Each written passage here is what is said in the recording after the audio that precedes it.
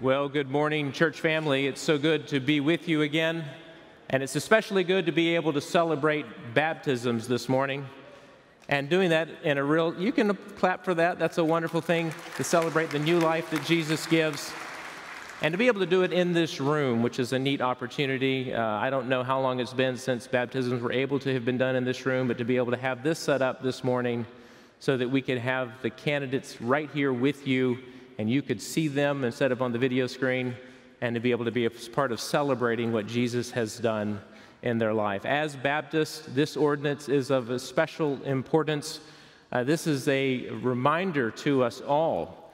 Uh, one time in our life this is done, but it's a reminder to us all that Jesus has died for sin and was raised from the dead, and that as an individual, we place faith in him and, and as this symbolically shows, are buried with him in the likeness of his death and raised in the likeness of his resurrection to walk in a newness of life that Jesus has given. What a precious and amazing event this is. And we're here to celebrate it with Elizabeth Ramsey, our first candidate this morning. I want to read to you her testimony so that you can hear how she came to know Jesus Christ. Elizabeth writes I grew up in a faithless home. I hadn't realized what religion was until I was an adult. When I was 25 in Miami, a lady approached me as I was reading the Bible and taught me that I was born a sinner and I needed to repent of my sins and ask Jesus into my heart. I did. I prayed every night and asked God to help me find a Christian, godly man. My prayers were answered when I was sent to Alaska to work on a small cruise ship. My future husband was also working on that cruise ship. Since that summer of 2017, my faith has grown and gotten stronger. I'm excited to keep growing stronger in my faith and to continue to grow in my relationship with God after today. Elizabeth, have you placed your faith in Jesus Christ and Him alone for salvation? And based upon your profession of faith, Elizabeth, I baptize you in the name of the Father, and the Son, and the Holy Spirit. Dead and buried in the likeness of his death, raised to walk in the likeness of his resurrection. Amen. You're welcome.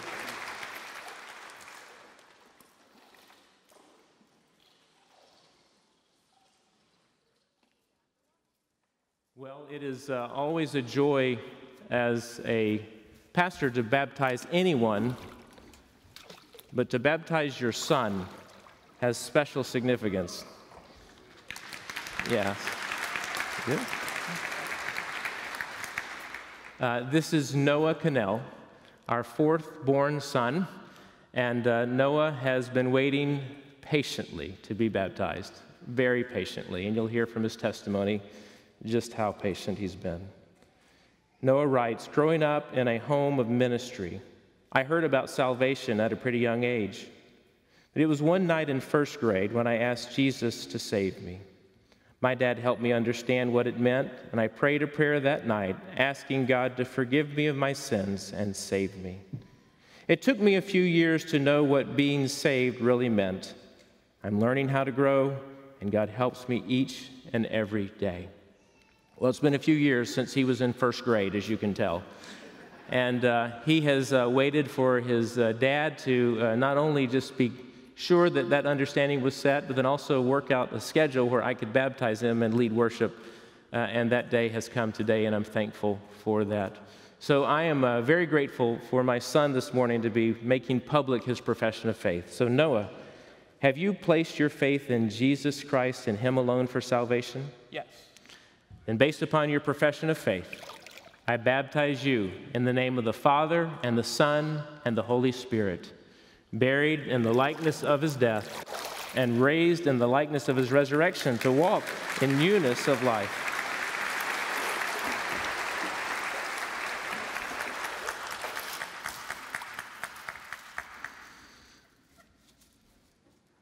And while we're at it, I have another son here who is going to be baptized. Thank you. This is the last. We're not doing all seven today. so, you know, I'm thankful for my children. Uh, John wrote in his epistle, I have no greater joy than to know my children are walking in the truth, and that is so incredibly true about a parent. And to see this happen is very meaningful to Mary and me. Jonathan writes Before I came to know Jesus, I was living a life that didn't have any meaning. I was not glorifying and worshiping God for what He had done and what He could do. I was saved in the fifth grade. I had prayed the prayer of salvation many times, but one of those times I was convicted, and when I prayed, it meant something that I had not realized before. I realized what it meant to be saved and why I needed to ask for forgiveness. I'm glad I can say that I know I am saved by Jesus Christ and that He has made a way through darkness for me to provide me with eternal life and, more importantly, a way to be with Him. Jonathan, have you trusted in Jesus Christ and Him alone for salvation? Yes.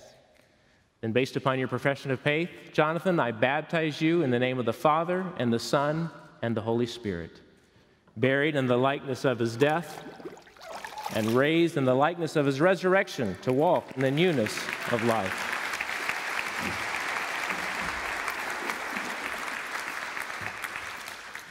Well, now let's give our attention to the screen as our choir and orchestra help us prepare to worship Him and respond to Him this day.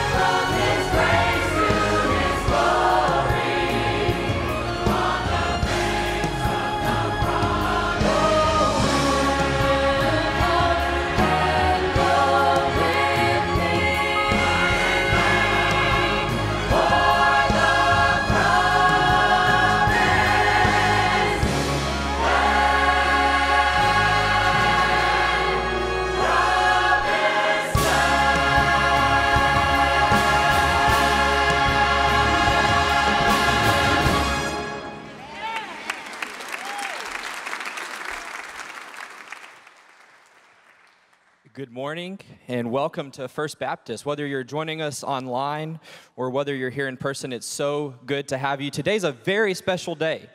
Uh, I talked to uh, many people on the way in this morning, and it was their first time back uh, with us, and uh, praise the Lord for that. Uh, today's been special, uh, and it's just getting started. We've had an awesome baptism time.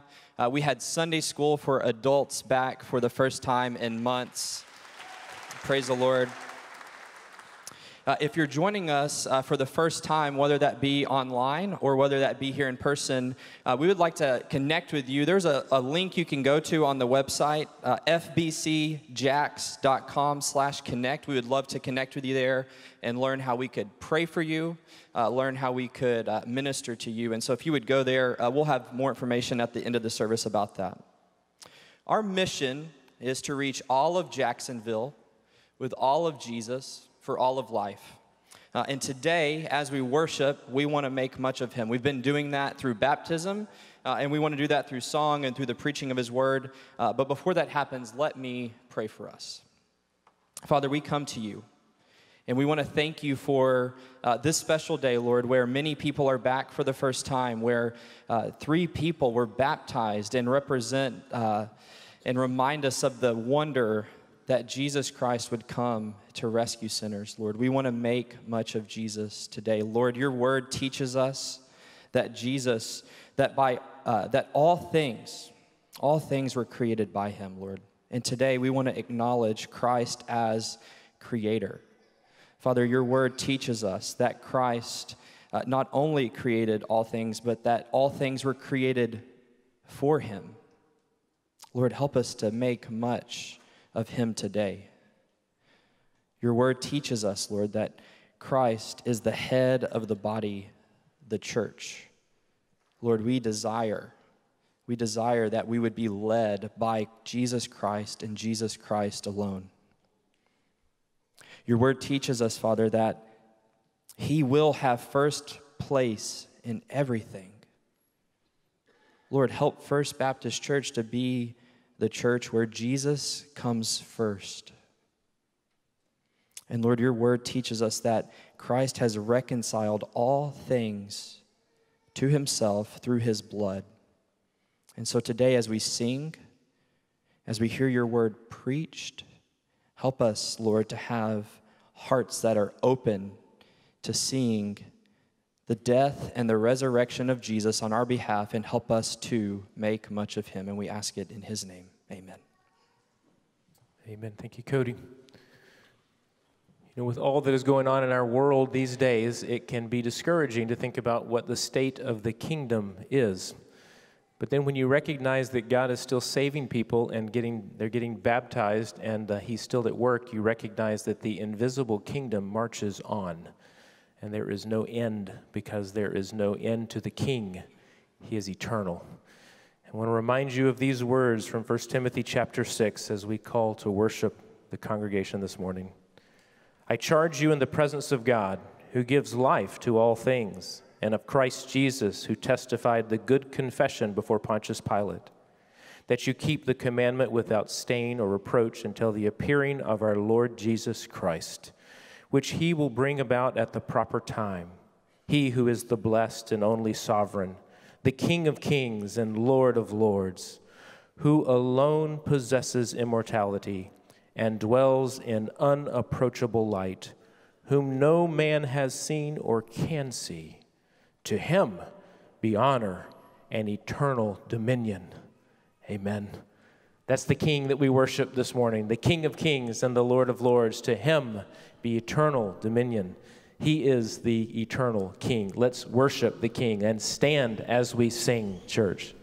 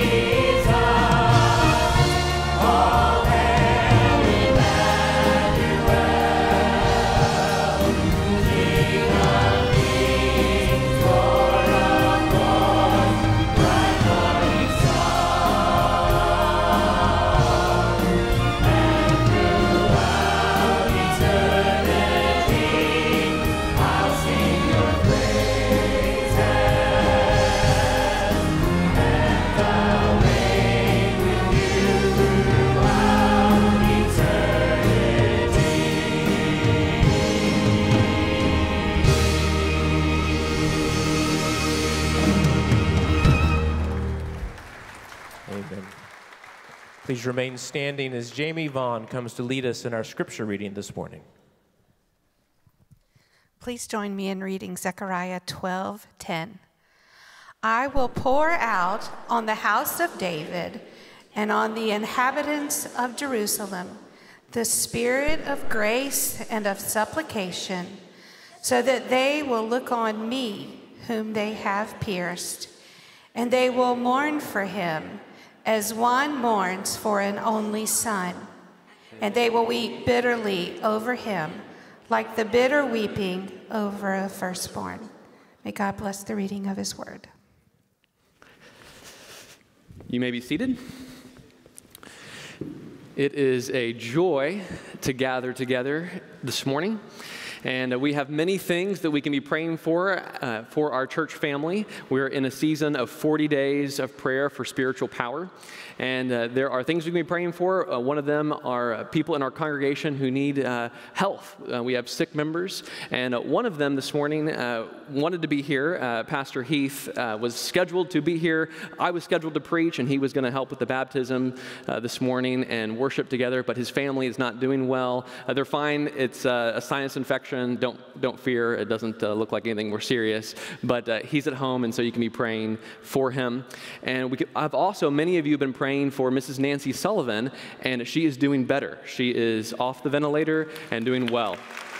And so that is a great prayer. In fact, Dr. Sullivan was here earlier. I don't know if he's still here this morning or not, but he was here and he I heard he was dancing in the dining room because uh, Sunday school was back. So if you see him dancing, you'll know uh, he's a happy camper this morning. We can be praying for folks who need uh, to heal from sickness. Uh, we can also be praying uh, for dependence upon the Lord. And the thing that's uh, I feel burdened about this morning in particular is we want more people to be baptized in the name of the Father, the Son, and the Holy Spirit. We want more people in Jacksonville to be saved. We want more people to come and be discipled and enter the waters of baptism. And so I want to ask that we would pray for that in particular this morning. And then this this is also the time of our service where we give. And uh, we, there's several ways you can give. You can give online, you can give by mail, or you can give on your way out. And uh, many of you uh, have been faithfully, faithfully giving and have sustained the church. And I'm so, so grateful. And we want to thank you for that and ask God to bless the offering and the tithes that you are giving to our church. So let's go, go to the Lord in prayer and do that right now. Heavenly Father,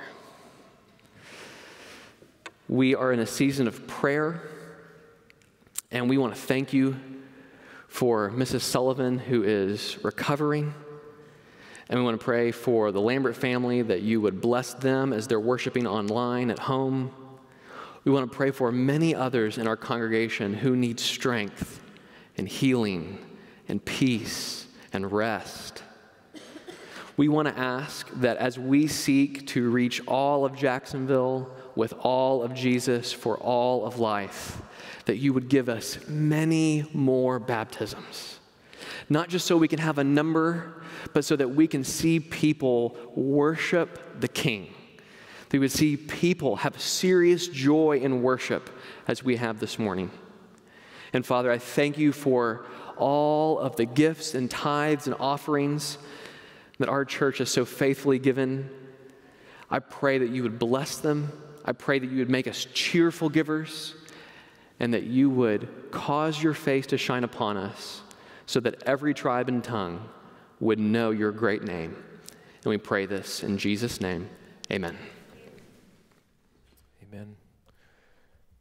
Most remarkable part of the story of the king and his kingdom is that the king would lay down his life for the subjects in the kingdom and that not just subjects, but those who had willfully rebelled against the king.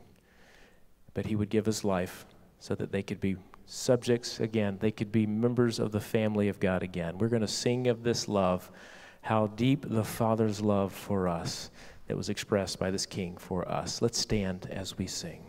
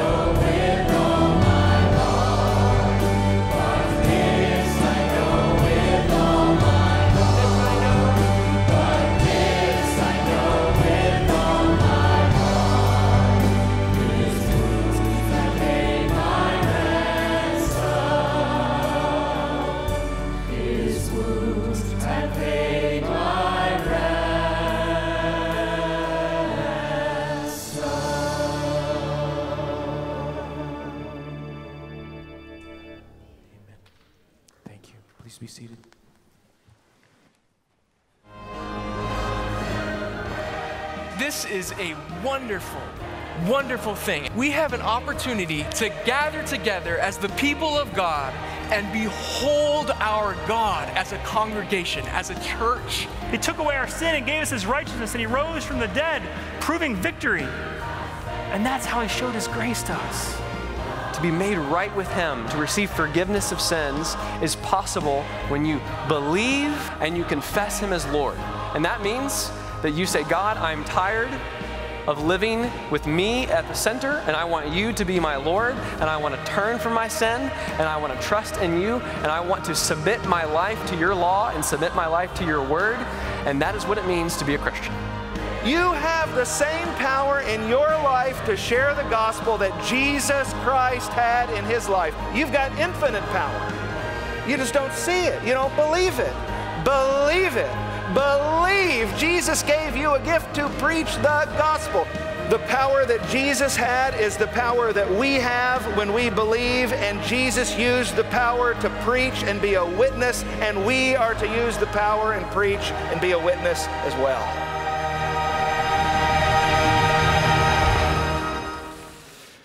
Well, if you have a copy of God's Word, turn to the book of Revelation.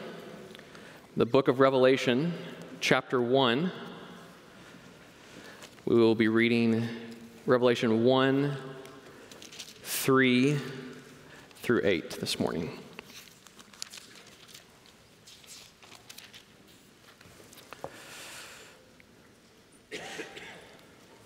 Here is what the Holy Spirit revealed to the Apostle John, starting in verse 3. Blessed is he who reads and those who hear the words of the prophecy and heed the things which are written in it, for the time is near.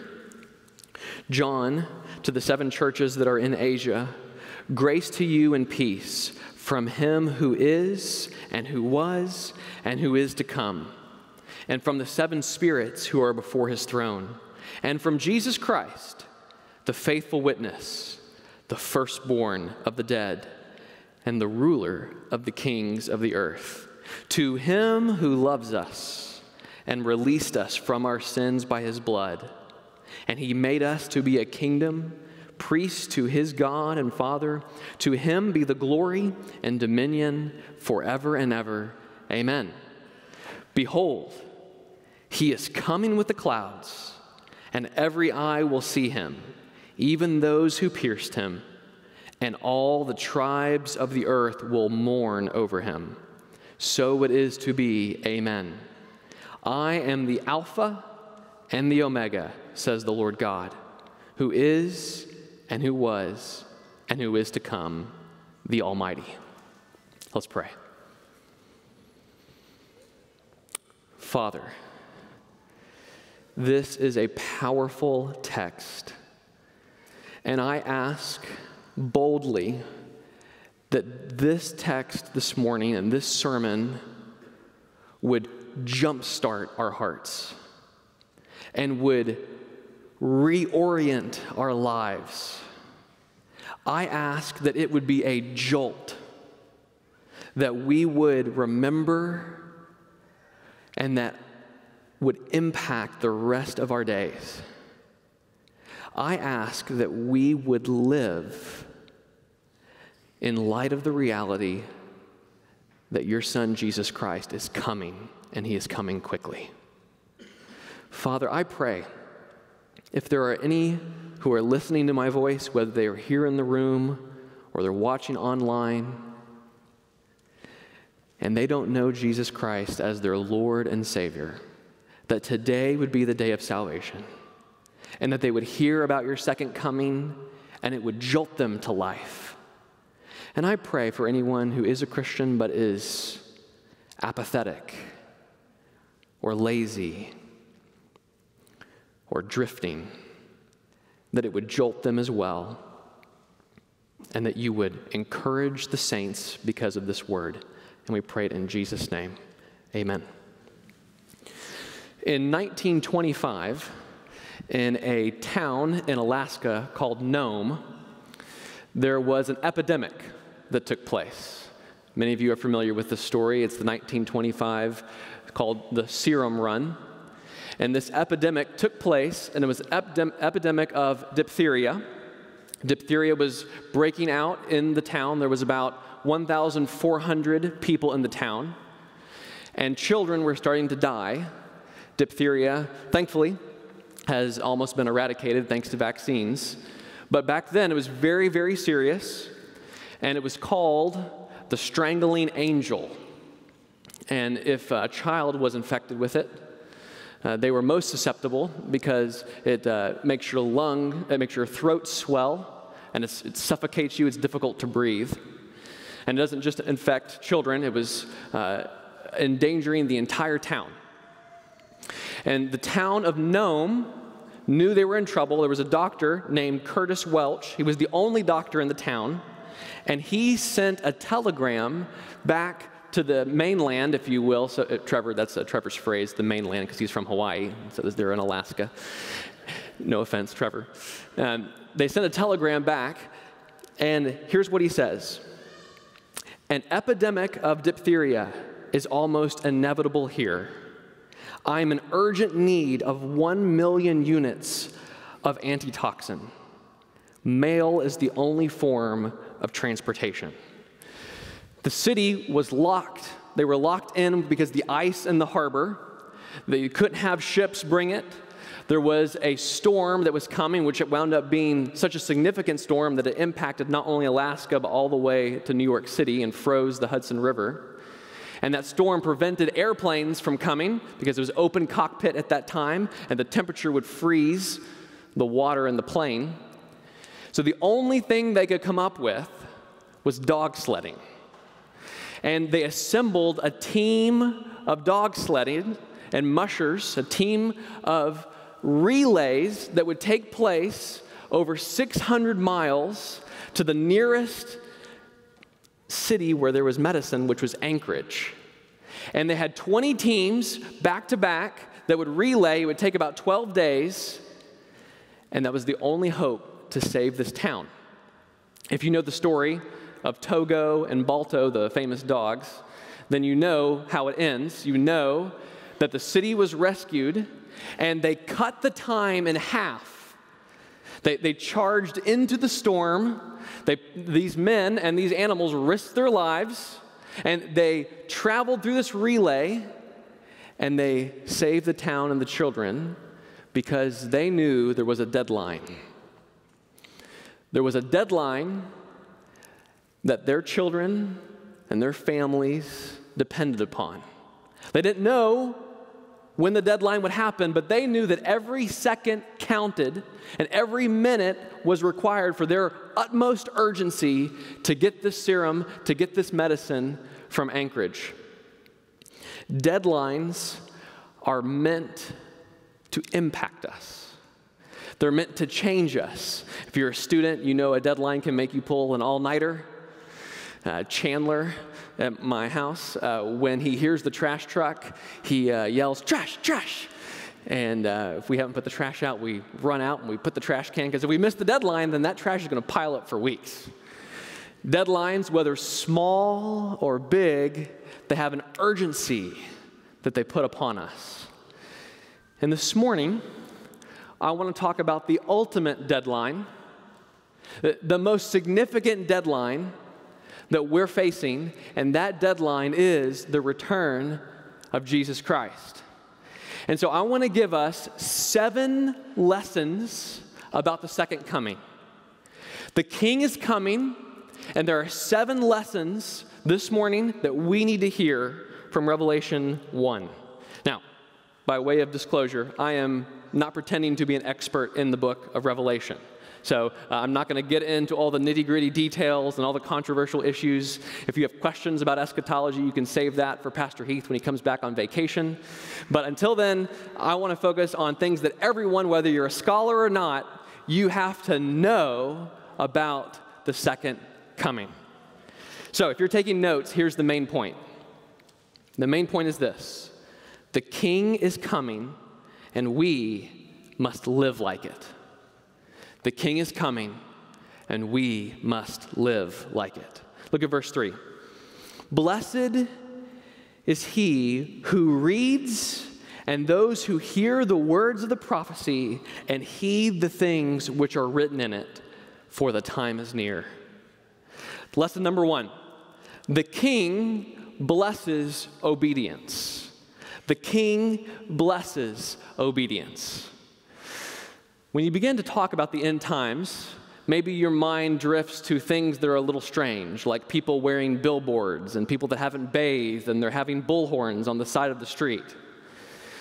Eschatology, the, the study of the end times, has a way of piquing our curiosity and captivating our imagination. And that is good and fine. But Revelation starts out with a warning for us. The book of Revelation and the end times and the return of Jesus is not primarily to entertain us for our curiosity and our intellectual sakes. The book of Revelation and the second coming is meant to push us to obedience. It's meant to push us to love Jesus more and to have our character conformed into his holiness and to his likeness. That's what it says in verse 3. Blessed are those who heed the things which are written in it. Don't just be a hearer of the word. Don't just like that Jesus is returning. Don't just think about charts and diagrams and get all the details lined up. Jesus wants you to be impacted, He wants you to be different. He wants your faith to increase. He wants your fruit to be fruit of the Spirit, and that should come by reading and thinking about the return of Jesus. So, in 2020, there's all kinds of things that feel apocalyptic. And when you see the memes on Facebook about the murder hornets and all these things that are coming, it's fine to think about the seventh trumpet and the fifth trumpet in the book of Revelation, but you should think first and foremost Am I looking like Jesus Christ in my personal life? Am I telling others about his second coming? Am I telling others that Jesus died for their sins and rose bodily from the grave? And just as he went up in the air, so he's also coming. The blessing of revelation, it's been said, is to see things as they will be clearly. We are the people who know the king is coming and that's just not for the future and our curiosity. That's right now for us to look more like Jesus and to proclaim his gospel. So, first lesson here's the question Does the second coming impact you today? Are you living like Jesus is coming back? The second lesson the king has the final word. This is the second lesson from Revelation. The king has the final word. Look at verse 4. John to the seven churches that are in Asia, grace to you and peace from him who is, and him who was, and him who is to come, and from the seven spirits that are before the throne, and from Jesus Christ, the faithful witness, the firstborn of the dead, the ruler of the kings of the earth. 2020 has not taken Jesus by surprise. Jesus has the final word on the pandemic. Jesus has the final word on the election. Jesus has the final word on the economy. Jesus has the final word on our church. Jesus is described as the ruler of the kings of the earth.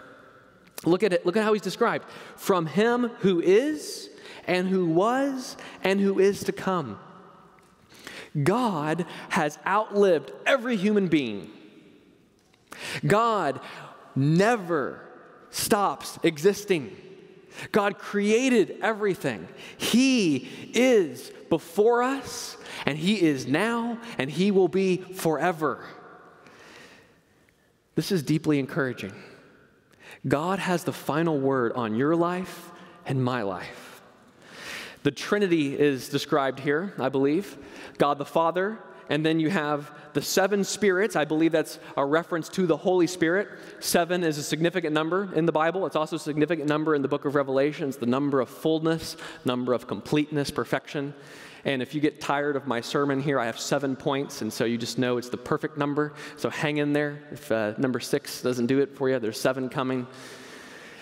The Holy Spirit is mentioned here, and then Jesus is described directly. He's addressed directly, and it says, To him who loves us and released us from our sins by his blood. The book of, Re- of the Revelation describes the divinity of Jesus in crystal clear terms.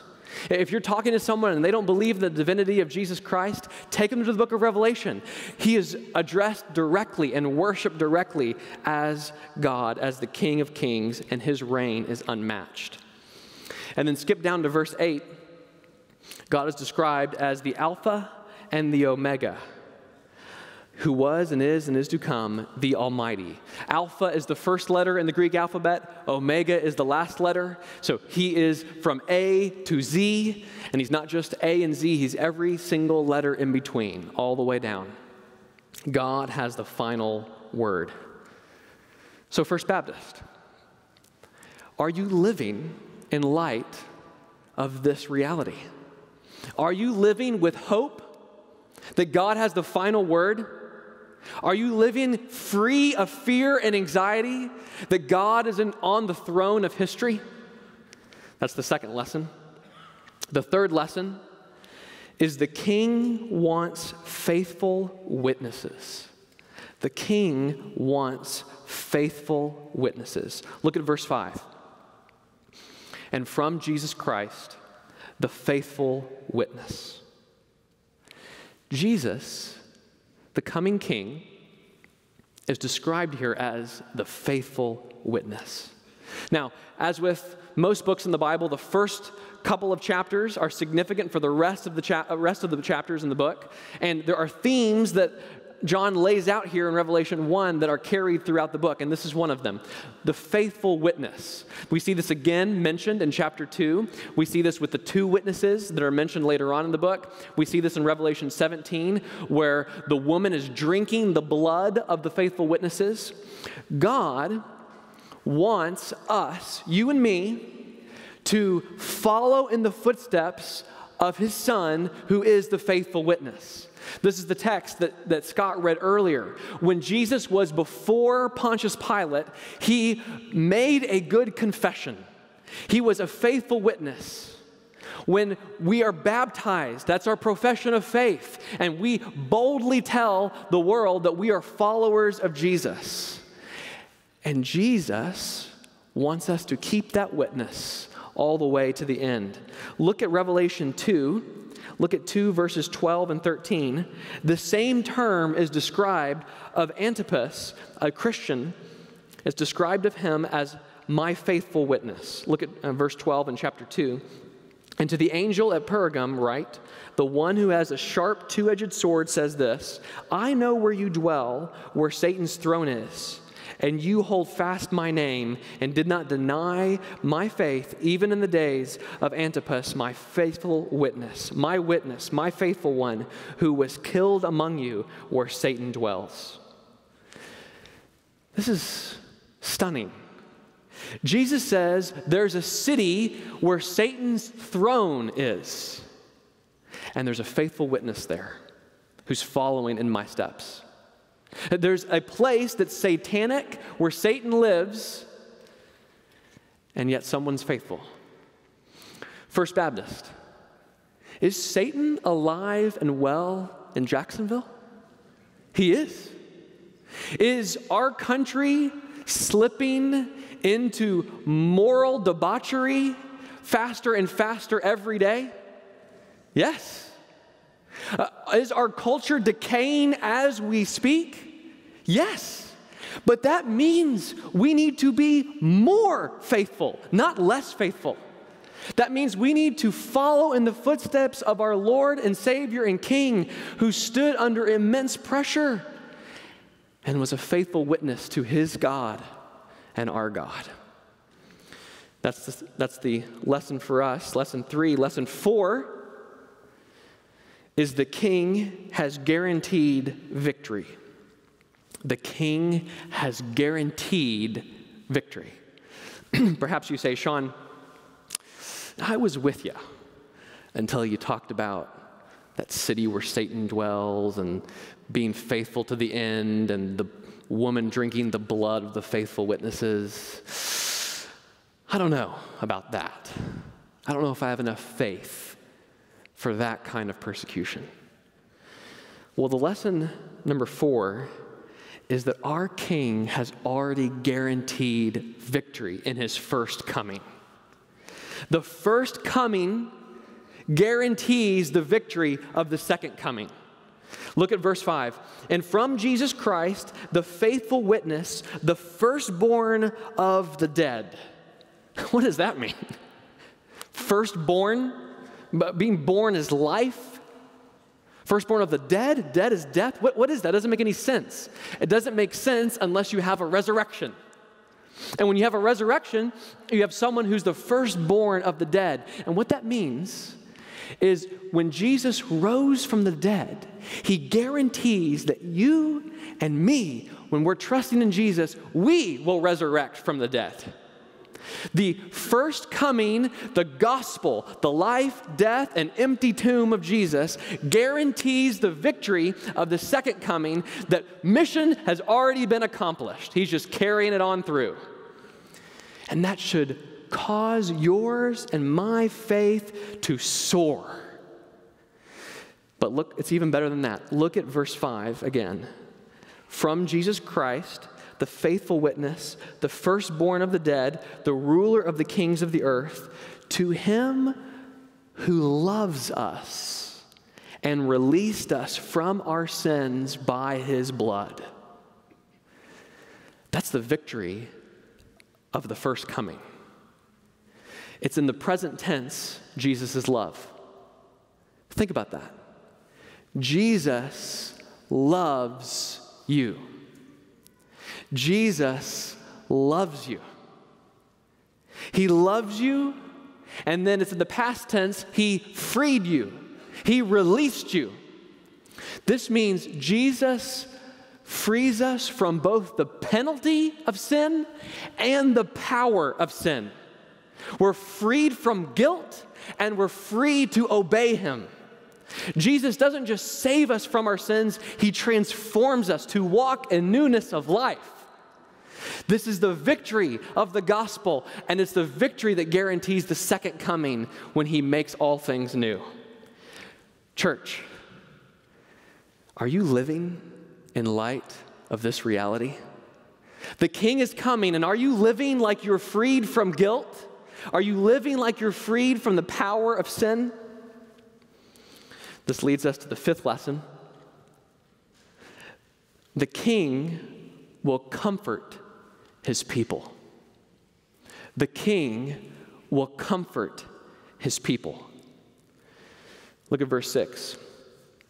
And he made us, he transformed us, he made us to be a kingdom, priests to his God and Father. To him be the glory and dominion forever and ever. Amen. This is comforting because if you are a kingdom now, you will receive the kingdom forever. If you are a priest now, you will enjoy his presence forever.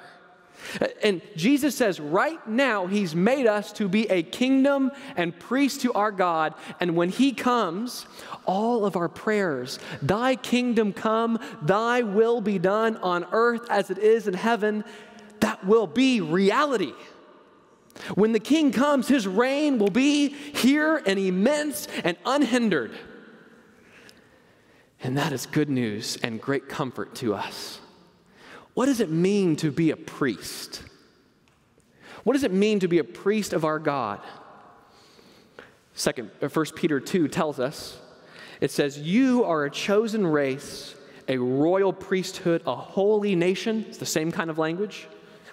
A people for God's own possession, that you may proclaim the excellencies of Him who called you out of darkness and into His marvelous light.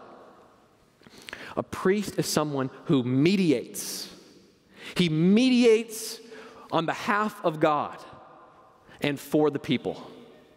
What it means for you and me to be a priest is that we would mediate the message of the gospel to the world. Because here is the cold, hard reality. The cold, hard reality, as we talked last Sunday about Psalm 23 and about the comfort of Christ, and that is only comforting if you know Christ. It's comforting if the king is coming if you are already a kingdom. It's not comforting if you're not a part of the kingdom yet. And this leads to the sixth lesson that we can learn from this text, and that is the king will terrify others. The king will terrify others when he comes. Look at verse 7. Behold, he is coming with the clouds, and every eye will see him, even those who pierced him. And all the tribes, all of them, all the tribes of the earth will mourn over him. So it is to be. Amen. The second coming is going to be a bone chilling reality for the tribes of the earth. Jesus, the first coming, he came poor, weak as a baby, in a smelly manger, unannounced. The second coming, he is coming with a loud trumpet. He is coming as a royal king. He is coming with his vast army of the saints. And he is coming not with a rod and a staff to comfort, but the book of Revelation describes him as coming with a sword on a horse, and his robe is dipped in blood. And that blood is not his own blood, that blood is the blood of his enemies that he slaughters. He, he, the lamb was already slaughtered, and now he's coming back to slaughter his enemies. The lamb was pierced. He was wounded for our transgressions and pierced for our iniquities. He was crushed. And he's not coming to be crushed again. Instead, he's coming to crush his foes and everyone who has not repented and trust in Jesus alone for salvation. Revelation 6, let me read this to you. This is Revelation 6, 14 through 17.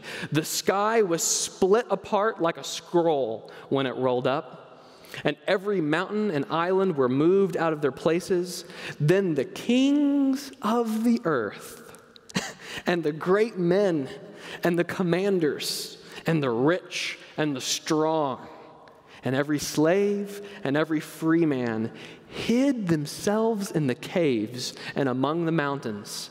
And they said to the mountains and to the rocks, Fall on us and hide us from the presence of him who sits on the throne and from the wrath of the Lamb, for the great day of their wrath has come, and who is able to stand? There will be mourning for everyone who has not bowed the knee to Jesus Christ at the second coming. And people will beg, they will beg for the rocks to fall upon them so that they don't have to face the wrath of God, but the rocks won't help them. There will be weeping and gnashing of teeth that starts on that day and goes on forever. And here's the reality you and I have a message that brings comfort. The only way that people won't weep on that last day is if they weep today for their sins. Blessed are those who mourn now, for they will be comforted. If you wait until then to mourn, you won't be comforted. You will be crushed. And it is our job it is our duty to be priests to the world and to mediate God's message that the King is coming and we must repent. And so here I am. I am here today to tell you to repent of your sins and to trust in Jesus Christ alone because He loves you and He wants to free you from your sins. And He died for you so that you could have life. But if you don't repent and believe today, then you won't know the comfort of His coming and you will only know His wrath. So please repent. Ask Jesus to forgive you and to cleanse you from your sin. This leads to the last lesson. Lesson number seven the king is coming quickly. The king is coming quickly. We are running out of time. Look at verse 3. Blessed is he who reads and those who hear the words of the prophecy and heed the things which are written in it, for the time is near. He says this again at the end of Revelation, Revelation 22:10. Do not seal up the words of the prophecy, for the time is near. Jesus' last words, Revelation 22 20. He who testifies to these things says, I am coming quickly. I am coming quickly. We are running out of time. In 1925, the serum run took place in Alaska because thousands of people were in danger. They assembled these teams of relay races and they risked their lives and they drove into a fierce storm and if you read about that, you can just Google this and you can read about several accounts. And one of the, one of the stopping points, one of the checkpoints where um, one of the sledders came in, the mushers, he came in to the roadhouse and it was so cold they had to pour hot water over his hands in order to remove them from the sled. It was upwards of negative 60 and negative 80 degrees. Dogs on the sleds were dying during the journey. When they would arrive at the roadhouse, different, at different checkpoints, dogs would drop dead. One man, he was, it was so cold and the wind was so intense that he had to get off of his sled and run next to it so that he could keep his body temperature up. And by the time he arrived at the next relay point, he had frostbite on his face and his face was black and he had hypothermia. The last man, name was Gunnar, who uh, came in to the town, as he was coming in, he, he was going so fast and felt such urgency that he skipped one of the checkpoints. And then he arrived at the next checkpoint, and the guy who was supposed to take the medicine on the next trip was asleep, and he felt such urgency that he kept on and didn't even wake the next runner because he wanted to get back in time to save the children. On that last leg, wind came and blew over his sled. And the medicine, which was wrapped up in this fur, fell out of the sled and into the snowdrift. And he had to take off his gloves so he could feel around. And he grabbed all over in the darkness to find the medicine. And he finally found it, but he had frostbite on his hands. When he arrived in town, he collapsed and he gave the medicine, and they injected all the people who were infected and in three weeks, they lifted the quarantine on the town. Those men felt an urgency. They felt the deadline of their loved ones. Brothers and sisters, we have a much more urgent mission than the 1925 serum run. We have a deadline that is way more serious than diphtheria we have a deadline that should impact our lives and cause us to have boldness and have urgency and tell people the good news. And so I want to ask you your time's running out. Where are you investing your time? When was the last time you planned to engage in love your reach contact? When was the last time you thought about your reach contact? Husbands, when was the last time you thought about investing and discipling your family? Your time's running out. Students, singles, you may be here and you may say, I got all the time in the world. You don't. You don't know that. Jesus could come and he can come quickly, and you need to be prepared to meet him, and you need to have a heart full of love and walk with him. Where are you investing your time? Senior adults, maybe you're just coasting into retirement. You're just on the golf course. You're just cruising, and you're not thinking about the urgency of the mission. Invest in the next generation. Pick up the phone, call people, write them, love them. Be a church that pursues a multi generational pursuit of godliness because the time is near. When, um, when I think about the return of Jesus, I grew up in a small country church Actually, it, it, grew and grew. By the time I left, it was larger, but it still felt like that country feel of home in Tennessee. And there was a song that I can't escape. It gets stuck in my head, and you know it, and uh, I love it. It's called The King is Coming. And that song is precious to me. Let me read you one of the stanzas here. The marketplace is empty no more traffic in the streets.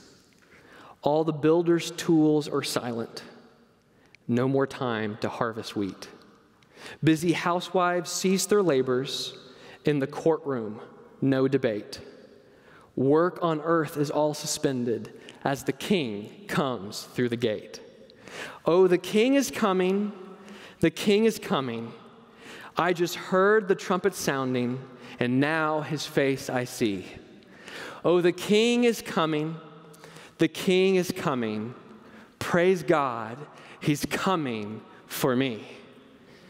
Is he coming for you? Is he coming for your neighbor? Let's pray and ask God for mercy.